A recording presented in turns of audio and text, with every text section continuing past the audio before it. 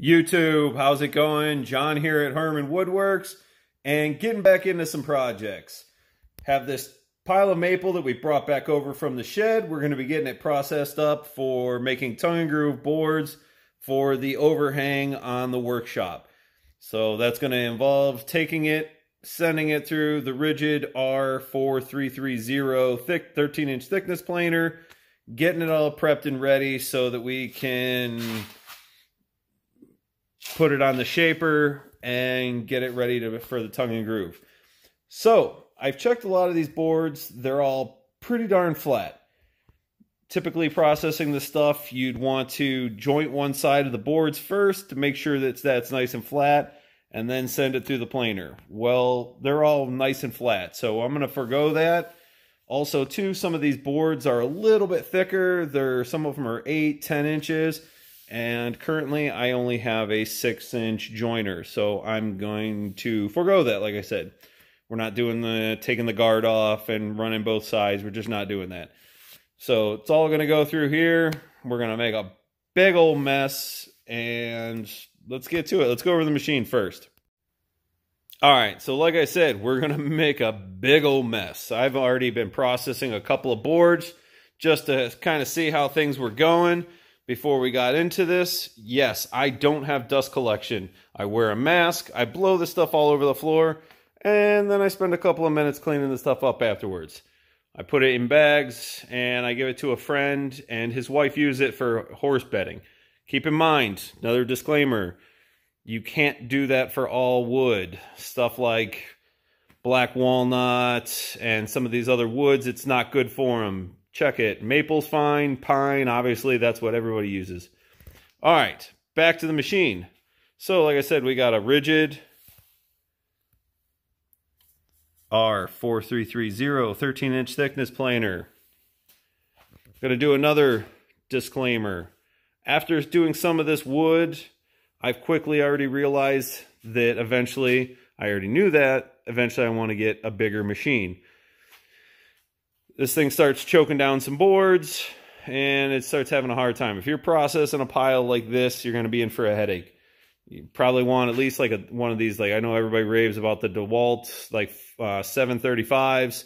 I want to kind of go even a little bigger than that, like maybe like a nice Grizzly unit of some kind. But back to this. All right, I'm going to go ahead and add over, add this into the video here, just going over some of the features of this, of this Ridgid planer. So you have the foldable beds, they fold down, you know, so you can keep the board going through. This is your actual main bed. You know, sometimes you'll want to uh, actually wa wax that with a good wax.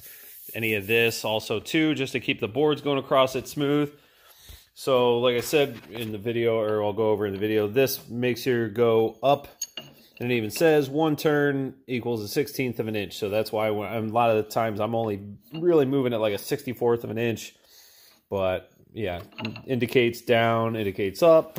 You can do repeatable cuts with this feature, but obviously you're on off. If you sometimes if you get chunking on it too hard, you might pop the fuse. You might have to hit this to reset it. Um, on the other side of it, here's your port for any of your chips coming out. This attachment, I've already loosened them up, but it's got these two pieces, one on each side so that you can take for your dust collection, take this off. And in here, and hold on before I do this, let me make sure this is unplugged. Okay, so unplugged, but so right here are your blades.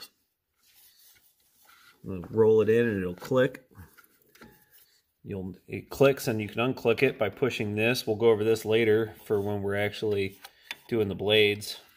But yeah, so this has three blades on it. We'll go over more on that later on a different video. But set this out of the way for the time being so I can show you this on the exit side of it. If you lift this bed up, it's got this is like a squeegee for cleaning off the, the dust off the boards. And then it's got the tool for removing the bolts so that you can change out the blade. So all pretty basic. That's why I just decided to do this in this. Not like it's going to add a ton to the video.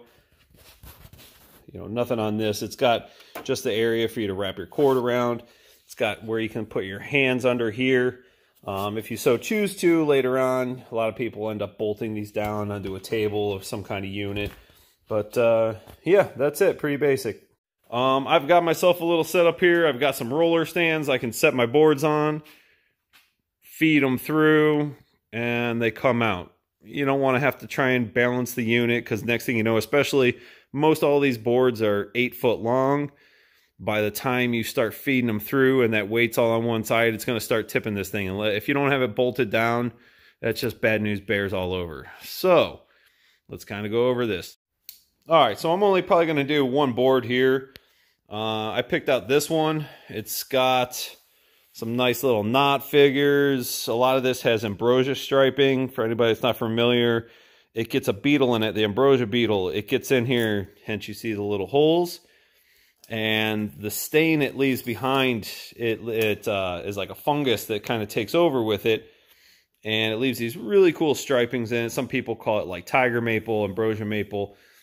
But, yeah, so got some stuff where some limbs went off. It was kind of towards the center of the tree. So, yeah, we're to get this process. So what we're looking at we're just a hair under 8 inches. Almost exactly 1 inch in thickness. Most of these I'm going to be getting them down to about 5 eighths is what I'm going to be looking for. Uh, the other side of this I don't think as pretty. I think that's going to be same thing. Couple of ambrosia stripes. But let's get this set up uh, and get ready to feed through. All right, so we got the board sitting here on the rollers got it set up. So for anybody not familiar with the Ridgids, I honestly don't know how DeWalt's are and stuff, or some of the other units. The Ridgid has what they call an indicut. So it's got a little, keep in mind this thing's unplugged. It's got a little ball here that senses when the machine comes in, so it kind of indicates for you how much of a cut you're going to be making. Honestly, to be honest, I run this thing where I only take about maybe almost like a 30 second off at a time because it starts choking stuff down. It bogs the machine down. You get a lot of chips. You get wavy cuts. It's not good. So what I usually do is I'll sit it in here and you adjust the machine down with this lever. And a lot of times I'll bring it, keep bringing it down until I see that indicator. So you can bring it up. I'm going to bring it down.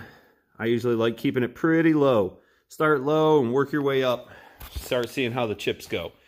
So let me mask up and get ready and we'll do this.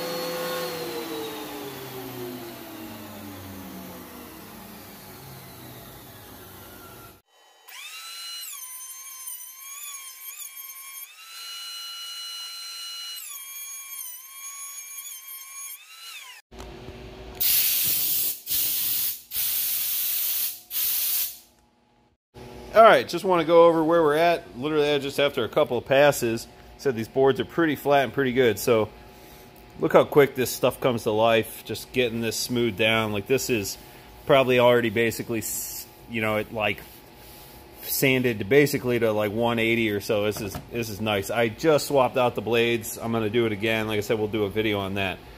But uh, yeah, this stuff really comes to life really quick honestly, I'm starting to fight myself. I almost don't want to use this stuff on the overhang. I literally want to go up to Home Depot and just buy some pine tongue and groove and save this stuff for another project. But it's here. I don't want to have to pay money to Home Depot. So, yeah, this stuff looks nice. All right, so I'm gonna get this thing flipped over, run the other side. This side's, yeah, this side's good. Yeah, there's one spot right here. Might do, we'll probably do one more little light pass on this side just to get any of the actual original stuff just 100% off. We'll flip it over and do that.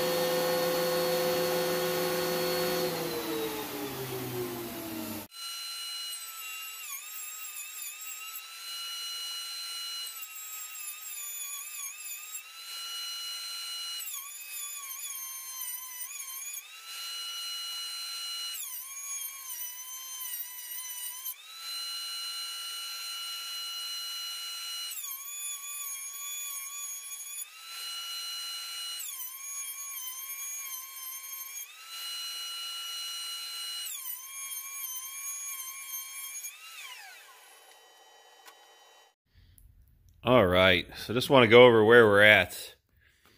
This stuff is some beauty, beautiful wood.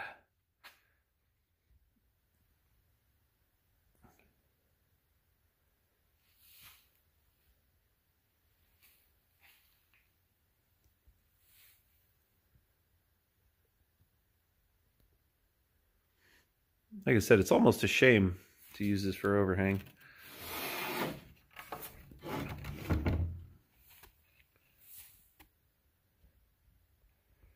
Eh, maybe I'll sleep on this one. Figure out what I want to do. Eh, just giving you a little preview of some of the other ones I've done.